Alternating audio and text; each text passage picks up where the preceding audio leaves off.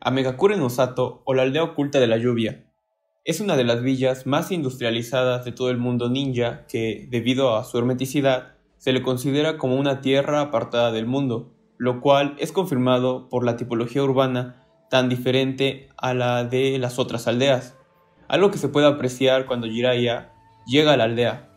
En ella se desarrollan dos de las batallas más épicas de Naruto Shippuden, Pain vs Jiraiya y Toby vs Conan.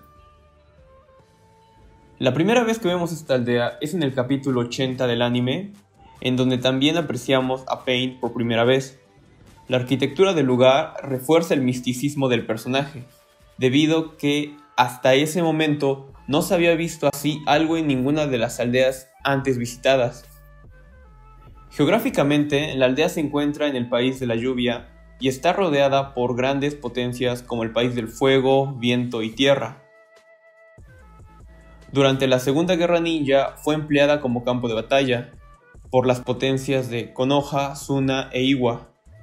Esto se puede ver reflejado en su arquitectura urbana, debido a que todos los edificios parecen tener cierto grado de intervención, además de reflejar un crecimiento no regulado, contar con instalaciones sanitarias e hidráulicas al exterior, falta de planeamiento e de imagen urbana. Al funcionar como campo de batalla, los métodos constructivos de la aldea debieron ser rápidos y los materiales industrializados. Esto para lograr solventar la demanda generada por los desastres de la guerra y poder reconstruir más rápido. Por lo cual, la arquitectura vernácula debió ir desapareciendo ante la necesidad de refugios más resistentes y con menor tiempo de construcción. La arquitectura vernácula debió parecerse a la de zonas costeras que buscan ganar espacio al mar, como en Tailandia, algunas regiones del sur de África y en regiones de América Latina. La imagen urbana es de una supermetrópoli de grandes rascacielos comparable a las de Dubái, Singapur, Estados Unidos, China, etc.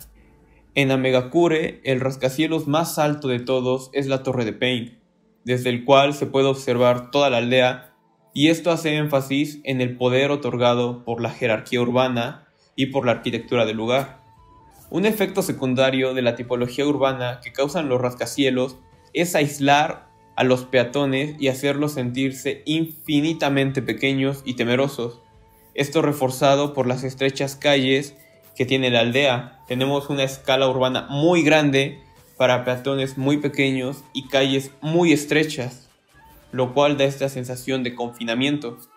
El clima en esta aldea no es equiparable con nada de nuestro contexto, debido a que no hay lugar en la Tierra en donde llueva un 99% del año.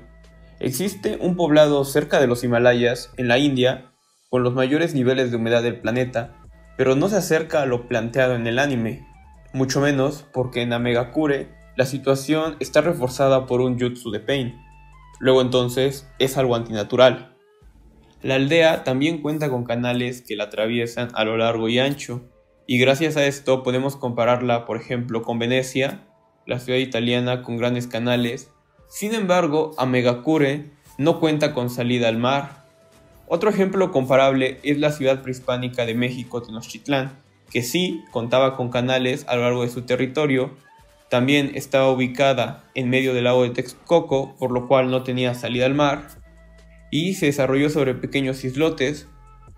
Contaba también con construcciones de gran tamaño, como el Templo Mayor, y este ejemplo nos permite darnos una idea de que la arquitectura de Amegakure podría ser real en algún tipo de contexto modo.